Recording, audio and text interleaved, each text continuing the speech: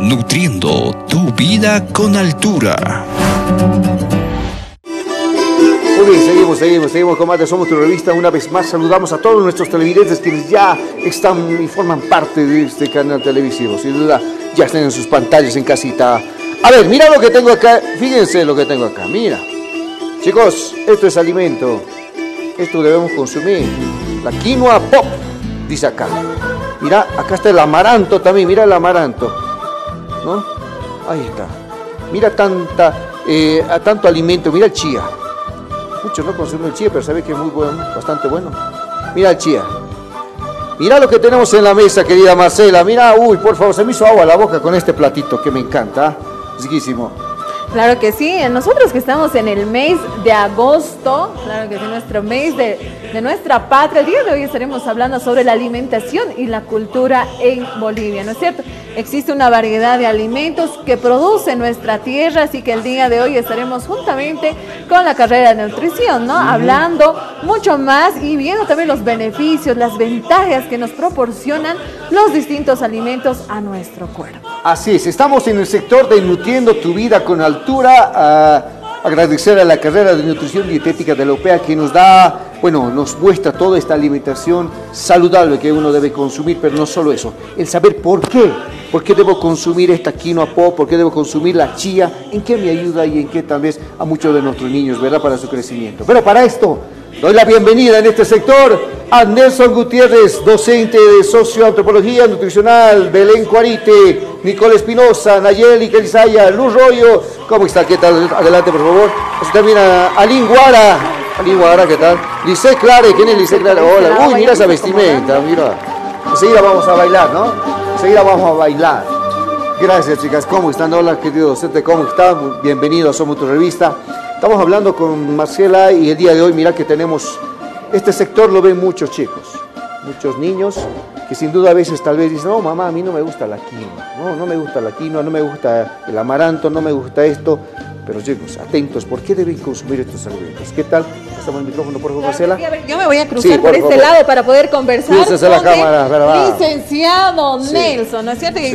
el día de hoy nos va a estar explicando sobre los beneficios, sobre los alimentos que realmente produce nuestra tierra. Y muchas mamitas en casa desconocen ¿no? los alimentos, cómo debo preparar, por qué debo preparar, ¿no es cierto? Entonces, usted licenciado, diríjase a todas ellas, vamos a dar a conocer los beneficios de estos alimentos. Muchas gracias. Bueno, primeramente agradecemos a UPA TV por la invitación. Somos de la carrera de nutrición y dietética. Somos del primer año, están gente del primer año C, del paralelo C y del paralelo A. Bueno, primeramente quiero agradecer también a toda la población que nos está escuchando y nos está viendo por los canales de UPA TV. Lo que realmente nosotros venimos a dar un poquito del tiempo de lo que hacemos en aula, ¿no? Y en gran medida es tomar conciencia de cómo el alimento en principio es una identidad cultural, es casi como la religión.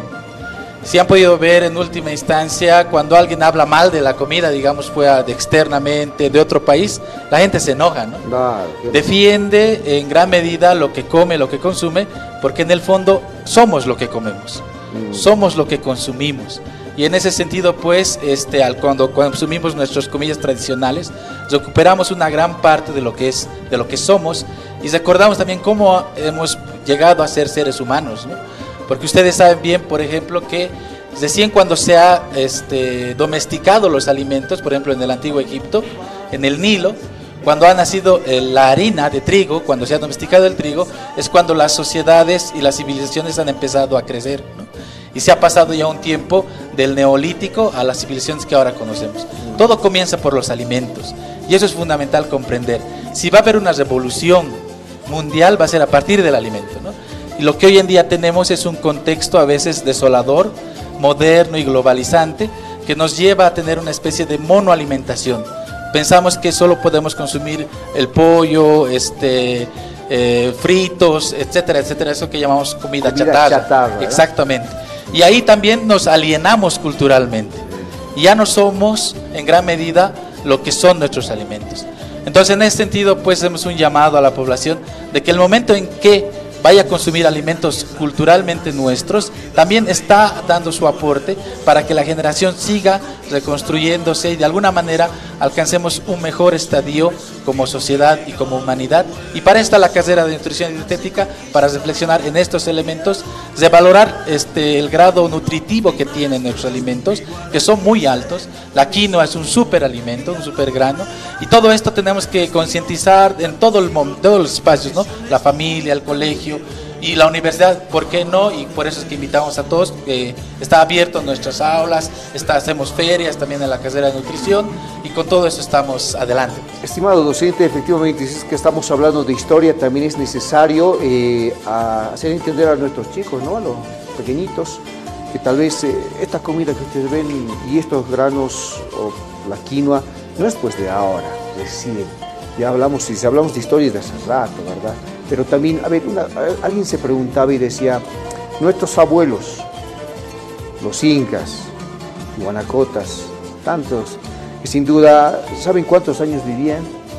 Nosotros no pasamos ni los 60, 70, ya no estamos doblando, ¿verdad? Pero ellos... Eran longevos. Longevos. ¿Por qué? La alimentación para nuestra cultura aymara, quechua, es también nuestra medicina. Ah. Eso es fundamental saber, ¿no?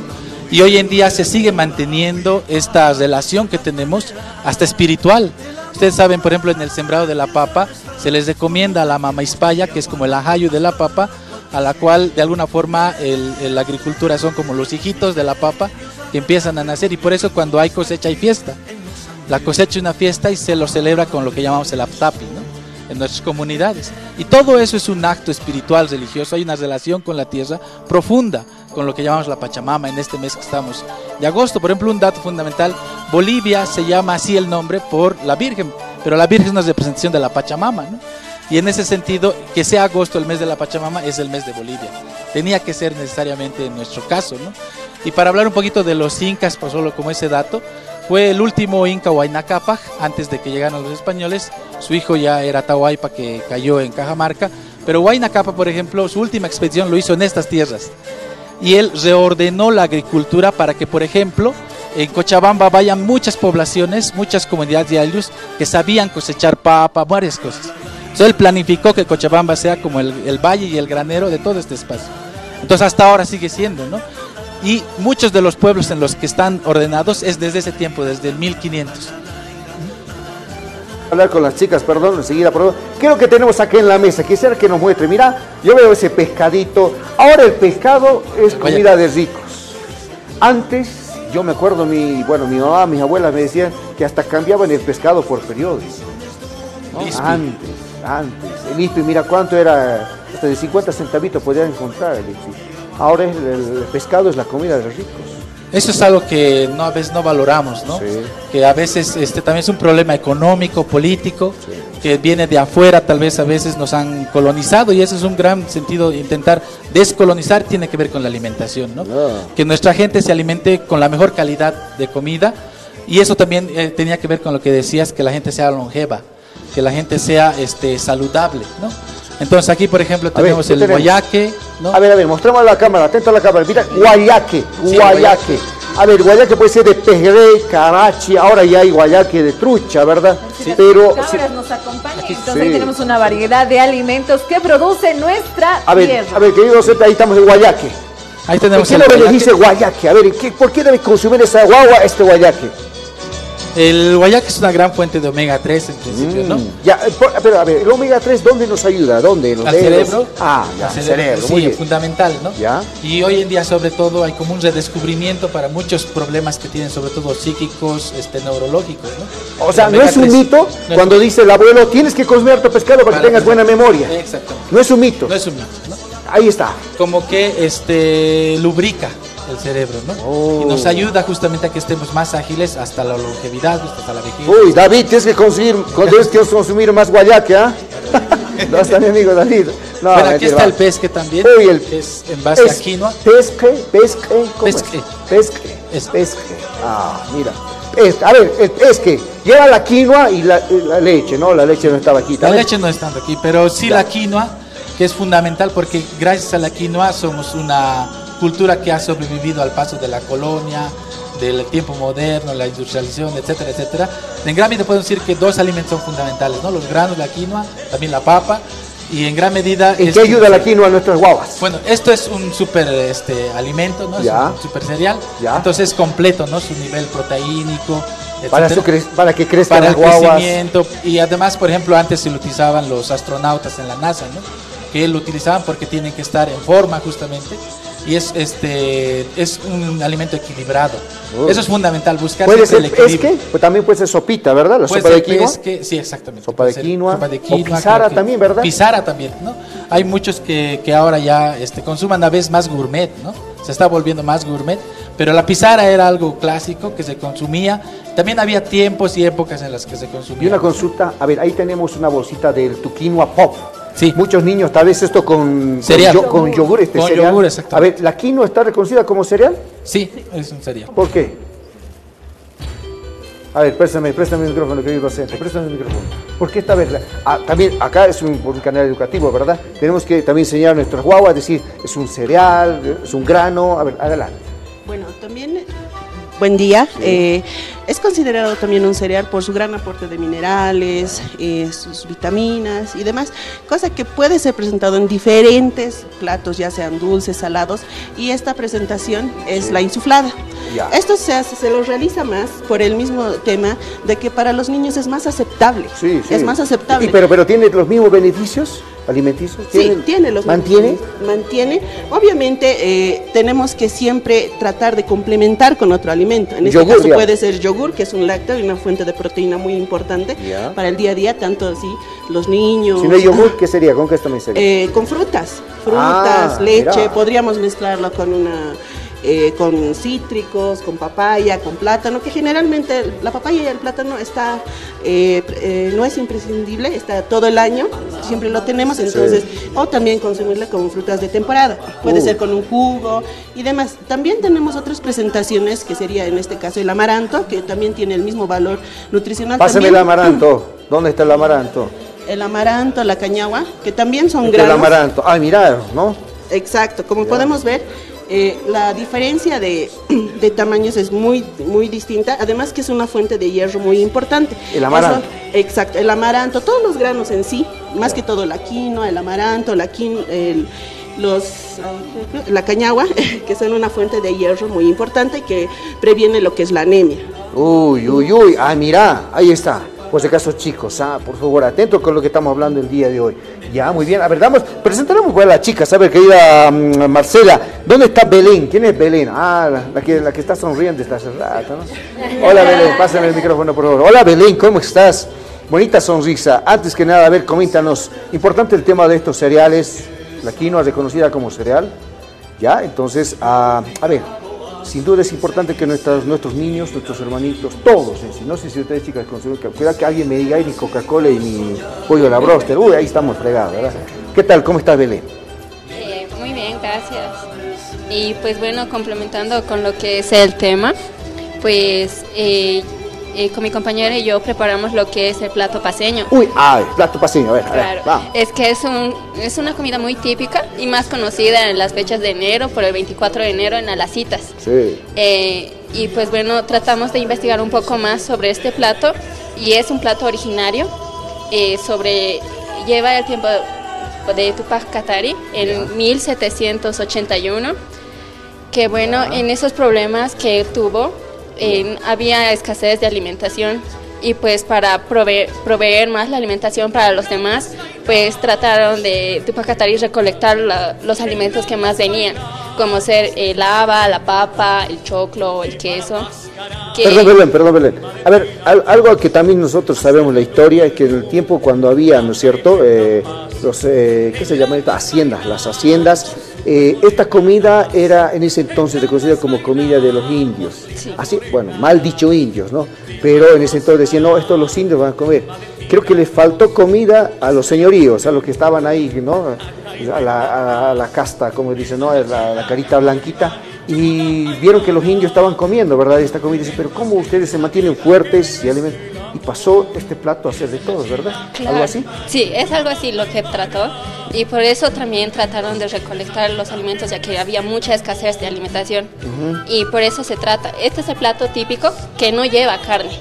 El que ya se actualizó modernamente ya lleva la carne. Ah, Pero este es el plato típico del plato paseño, Ahora, ahora sí, ¿con quién trabajaste este platito? con mi compañero. A ver, ¿tu nombre, mamita, cuál es?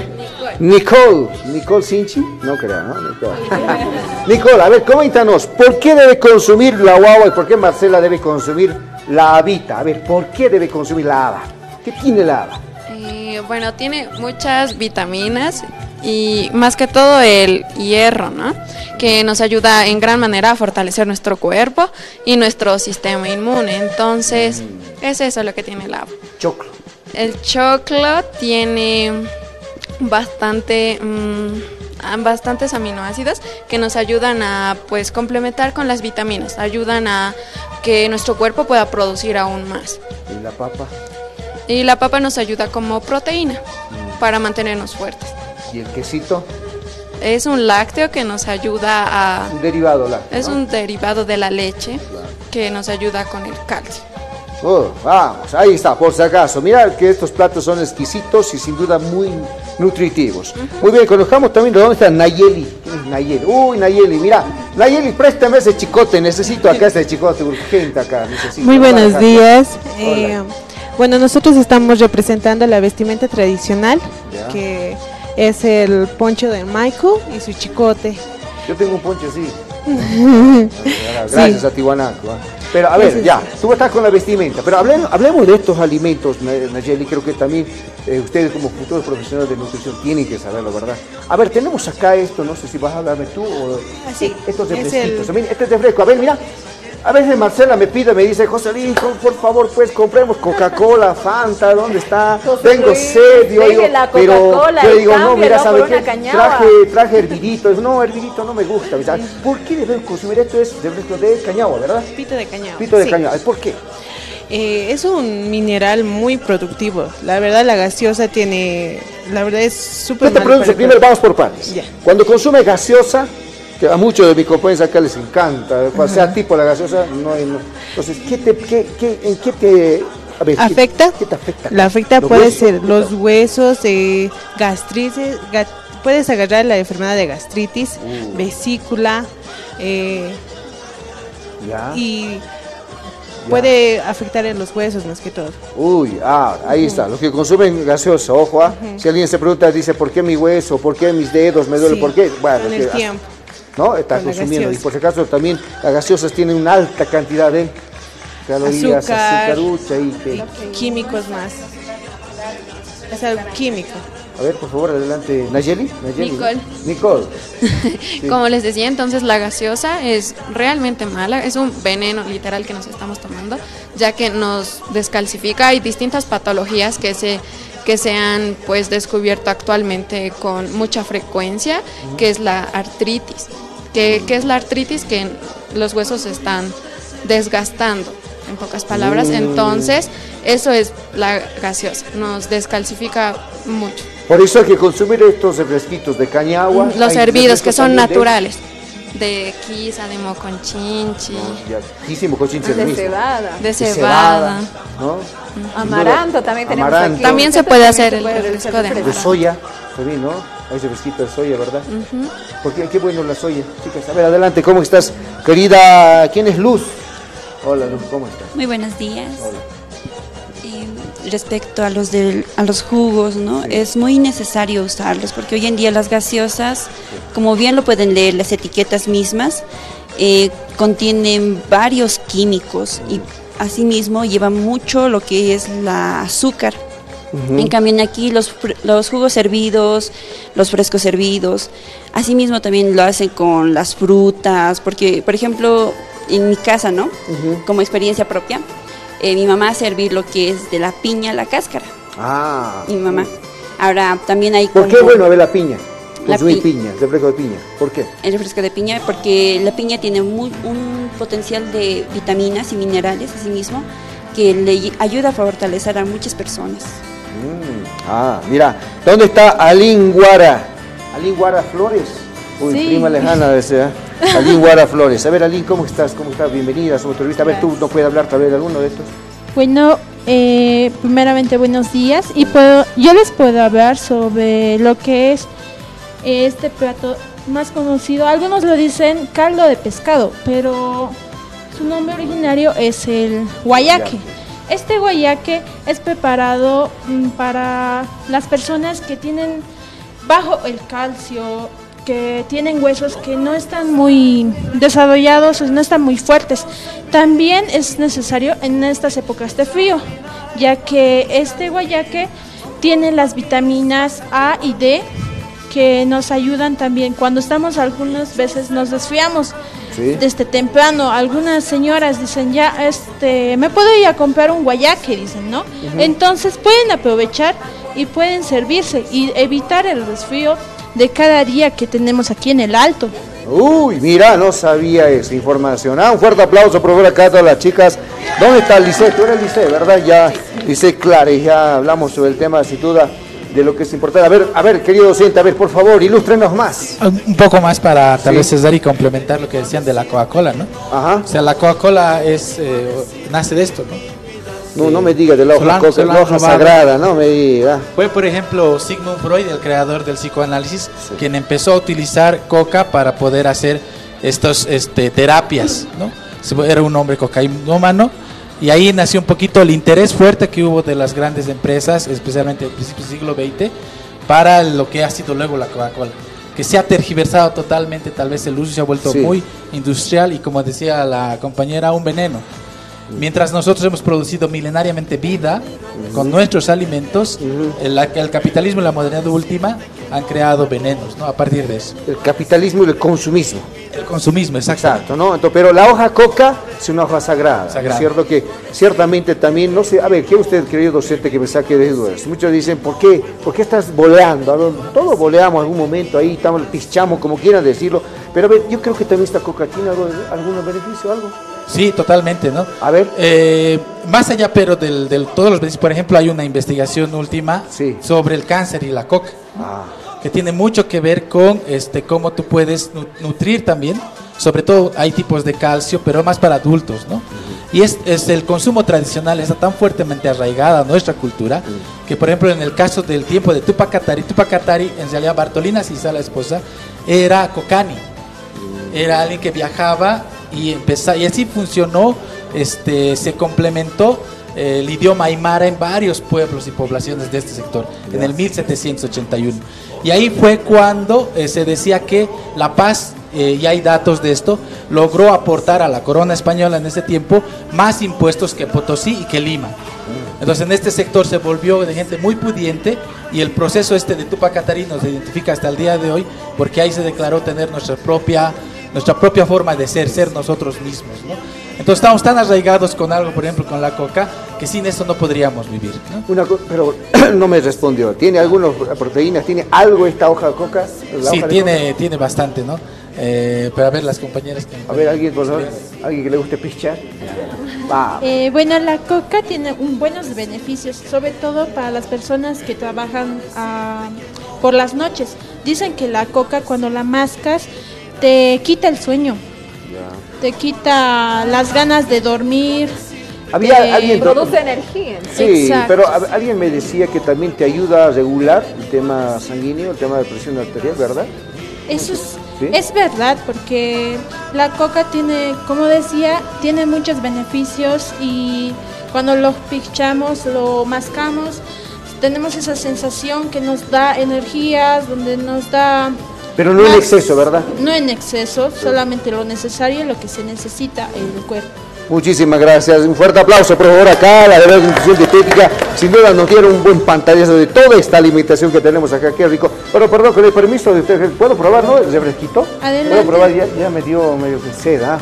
Marcela, importante el tema de favor. alimentación, ¿verdad? Así es, eh, eh, José Luis, ¿no es cierto? Entonces, el día de hoy hemos estado conociendo los beneficios de los distintos alimentos y cómo nosotros podemos prepararlo e implementar en lo que es nuestras dietas. Así entonces podemos observar y dejar un poco de lado lo que son las gaseosas y poderlos reemplazar con lo que son los distintos refrescos, ¿no es cierto? Decían las cebadas, cañagua, amaranto, nos decían. Entonces nosotros agradecidos con la carrera de nutrición y dietética que siempre nos están brindando la información necesaria para dar a conocer a nuestra población, ¿no es cierto? Entonces, para que usted también se mantenga bien, se mantenga fuerte, evitemos cualquier tipo de enfermedad, entonces podemos consumir de buena forma y alimentos que también producen en nuestra tierra, ¿no es cierto? Ahí como la quinoa, es una variedad de quinoa que también distintos países adquieren, los requieren, ¿no es cierto? Y nosotros lo tenemos al alcance. Así que usted aproveche el grano de oro que es la quinoa, una gran fuente de lo que es proteína, ¿no es cierto? Entonces, en las distintas preparaciones, para los más pequeñitos hasta el más adulto ahí en casita. Así es, muy bien, con estas recomendaciones agradecer a la carrera de nutrición y dietética, estoy acá, eh, ¿tú eres la mamatalla, se puede decir? ¿Mamatalla, la vestimenta de la mamatalla? Mamatalla, ¿verdad? Dale, tú eres... Mira, mira ese Marco, mira con tenis, mira ese Marco. La mamatalla con botas, va, va, va, ni modo, sin duda. Bueno, ahí estás reflejando sin duda todo lo que es nuestra cultura, nuestra vestimenta, pero no, solo eso, sino nuestra gastronomía saludable que debemos todos, queridos niños. Que ya saben, por favor, consumamos lo nuestro, consumamos esto que está al alcance, ¿cierto?, de cada uno de nosotros. Muy bien, colócame la música, porque enseguida vamos también con nuestro querido Gilata, con una información importante, colócame la música. Con esto agradecer a la carrera de nutrición dietética, donde el día de hoy mostramos todos estos alimentos y sin duda su grado proteínico y lo que debemos todos niños saber. ¿Por qué debemos consumir sin duda estos alimentos? Agradecer en este sector, el sector de Tiempo Vida con Altura, la carrera de nutrición dietética. Un fuerte aplauso, por favor. Ahí está, gracias. Con esto, vamos a bailar, ¿no, chicos? ¿No? ¿Saben bailar? No hay que bailar. Bailar es también la identidad cultural. Sí, bailar. Ahí está, ¿verdad? Bailemos. A ver, colóqueme la música. Eh, bravo, con esto. Sí, sí, sí, vamos. Venga, venga, venga, venga. Ahí está, cuidado, cuidado, cuidado la, la pollera. Bueno, con eso, ahora sí, que Gilata. ¿Qué tenemos desde otro sector? Adelante.